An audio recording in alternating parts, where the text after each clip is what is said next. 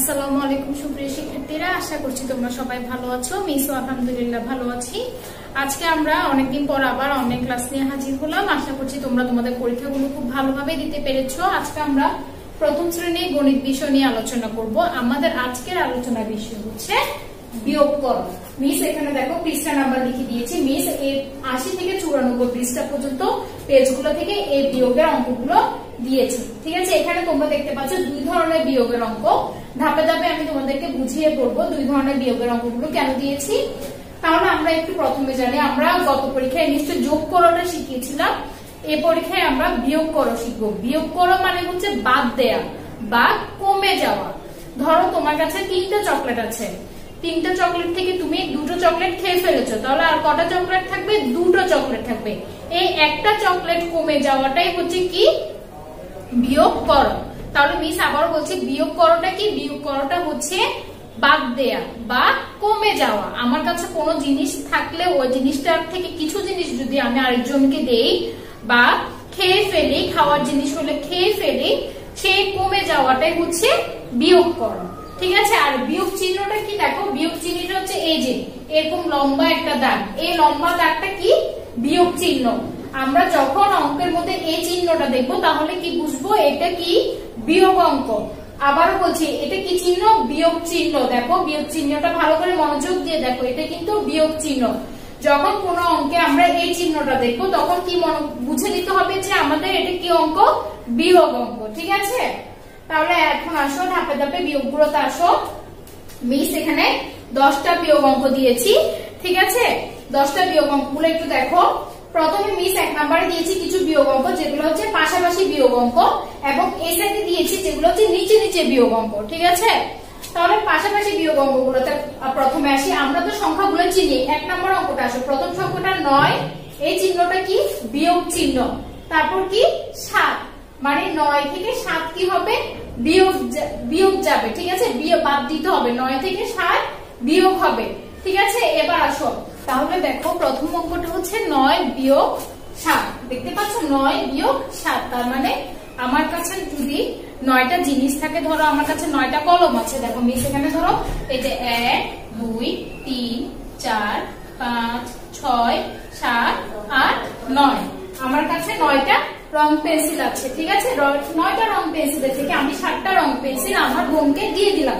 তাহলে দেখো, আমরা সাতটা রং পেন্সিল বোনকে দিয়ে দিই একটা দুটা তিনটা, চারটা, পাঁচটা, ছয়টা, সাতটা। ঠিক আছে? সাতটা কি করলাম আমার? বোনকে দিয়ে দিলাম। তাহলে আমার কাছে আর কয়টা থাকল? এই যে দেখো। আমার কাছে আর কয়টা থাকল? আমার কাছে এক, দুই। আমার কাছে থাকল আর কয়টা? দুইটা। ঠিক আছে? দেখো মিস আবারও বলছি। এখানে আমার কাছে ছিল নয়টা রং পেন্সিল। এই নয়টা রং পেন্সিল থেকে আমি আমার বোনকে সাতটা দিয়ে দিলাম। তাহলে আমার কাছে আর কয়টা থাকল? দুইটা। তাহলে মিস নয় থেকে সাত বা বিয়োগ গেলে কত হবে? দুই হবে। এবার আসো, তারপরেরটাতে। ধরো আমার কাছে কি? দশটা চকলেট আছে। আমি স্কুলে দশটা চকলেট নিয়ে গেলাম। ঠিক আছে? দেখো চকলেট এক, দুই, তিন, চার, পাঁচ, ছয়, সাত, আট, নয়, দশ। স্কুলে আমি দশটা চকলেট নিয়ে গেলাম। এই দশটা চকলেট থেকে পাঁচটা চকলেট আমি আমার বন্ধুকে দিলাম। আমি আমার পাঁচজন বন্ধুকে পাঁচটা চকলেট দিলাম। তাহলে আমরা দিয়ে দিই এক, দুই, তিন, চার, পাঁচ। তাহলে আমার কাছে কয়টা চকলেট থাকল? গণ এক, দুই, তিন, চার, পাঁচ। তাহলে আমার কাছে আর পাঁচ, কয়টা চকলেট থাকবে? পাঁচটা চকলেট থাকবে। ঠিক আছে? এবার আসো। আট বিয়োগ চার। তার মানে আট থেকে চার বিয়োগ যাবে। ঠিক আছে? ঠিক সেইভাবে ধরো, আমার কাছে আটটা কালার পেন্সিল আছে, রং পেন্সিল আছে। আমার কাছে আটটা কালার পেন্সিল আছে, রং পেন্সিল আছে। আমি চারটা রং পেন্সিল আমার বন্ধুকে দিলাম। কিছুক্ষণের জন্য কালার করার জন্য। তারপর আমি আমার বন্ধুকে চারটা দিয়ে দিই। এক, দুই, তিন, চার। বাকি কয়টা থাকল? আর আমার কাছে বাকি চারটা থাকল। তাহলে আট থেকে চার বিয়োগ গেলে কত হবে? চার হবে, ঠিক আছে? এবার আসো, দশ দশ থেকে দশ বিয়োগ নয়। মনে করো আমার কাছে দশটা কি আছে? বল আছে, দশটা টেনিস বল আছে, খেলার বল আছে। তো আমি খেলতে গেলাম খেলতে গেলাম যে আমি আমার নয়টা বন্ধুকে, আমার যে আরও নয়টা বন্ধু আছে, নয়জন বন্ধুকে নয়টা বল দিয়ে দিলাম। তাহলে আমার কাছে আর কয়টা বল থাকবে? দেখো এখানে আঙ্গুল দিয়ে দেখাচ্ছি, তোমাদেরকে বিভিন্ন টেকনিকে কিন্তু মিস দেখাচ্ছি। এখানে কিন্তু দশটা আঙ্গুল আছে, ঠিক আছে? তো আমার কাছে তার মানে দশটা বল আছে। এখানে দশটা বল আছে মিস কয়টা বল বন্ধুকে দিলাম? নয়টা বল, তাহলে এক, দুই, তিন, চার, পাঁচ, ছয়, সাত, আট, নয়। এই যে নয়টা বল আমি আমার বন্ধুকে দিয়ে দিলাম। আর কয়টা বল থাকবে তাহলে? একটা বল থাকবে, ঠিক আছে? তাহলে এখানে এক। এবার দেখো সাত বিয়োগ দুই।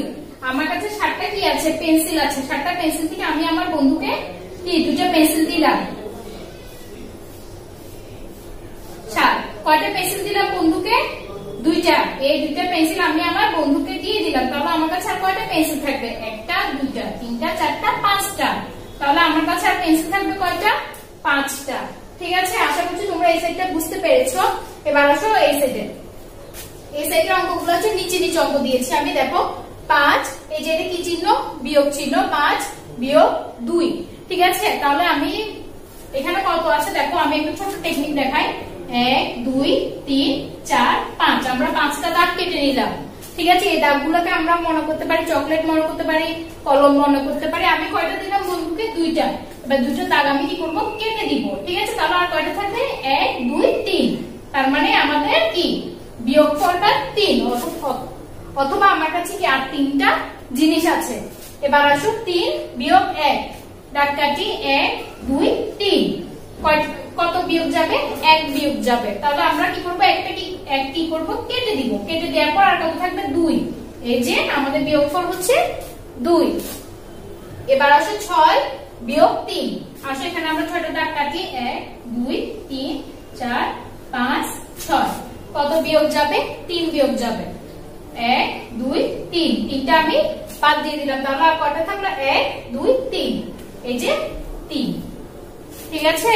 বিভিন্ন ভাবে করা যায় বিয়োগ অঙ্ক তোমরা যখন বড় হবে তখন আঙ্গুল দিয়ে করাটাই শিখতে পারবে। এখন এভাবে দাগ কেটে শিখাটাই আমার মনে হয় তোমাদের জন্য অনেক বেশি সহজ হবে। এবার আট বিয়োগ দুই। এক, দুই, তিন, চার, পাঁচ, ছয়, সাত, আট। আমি এখানে আটটা দাগ কাটলাম। এখন আমাকে কয়টা বাদ দিতে হবে বা কয়টা দিয়ে দিতে হবে? দুইটা। তাহলে দুইটা দিলে এখন আর এখানে কয়টা থাকে? গণি এক, দুই, তিন, চার, পাঁচ, ছয়। এই যে ছয়। এবার আসো দশ, বিয়োগ সাত আমি দাগ কাটছি, দেখো, এখানে নিচে কাটছি, এখানে জায়গা হবে না। এক, দুই, তিন, চার, পাঁচ, ছয়, সাত, আট, নয়, দশ। বিয়োগ কত, কয়টা বাদ দিতে হবে বা কত, দশ থেকে কত বিয়োগ যাবে? সাত বিয়োগ যাবে। এক, দুই, তিন, চার, পাঁচ, ছয়, সাত। তাহলে আর থাকছে কি? তিন। ঠিক আছে? তাহলে আমাদের বিয়োগ ফলটা হবে কি? তিন। আশা করছি তোমরা বুঝতে পেরেছ অঙ্কগুলা। এভাবে দাগ কেটে অঙ্কগুলো করলে অঙ্কগুলো করতে অনেক বেশি সহজ হয়, তোমরা মজাও পাবে। দাগগুলো কিন্তু অবশ্যই পরীক্ষার সময় আবার কি মুছে দিতে হবে? এভাবে দাগগুলা রেখে দেওয়া যাবে না তোমাদের কি করতে হবে? মুছে দিতে হবে। দেখো মিস মুছে দিচ্ছি। এই দাগগুলো কিন্তু পরীক্ষার সময় তুমি তোমার সুবিধার্থে করবে, কিন্তু খাতায় কিন্তু আর কোনো দাগ থাকতে পারবে না। তোমরা কি দাগগুলো কি করবে? করার পর আবার মনে করে কি করবে? মুছে দিবে, ঠিক আছে? তাহলে আগামী ক্লাসে অন্য কিছু পড়াবো আজকের মতো এখানে এসে ভালো থাকবে, সুস্থ থাকবে, আসসালামু আলাইকুম।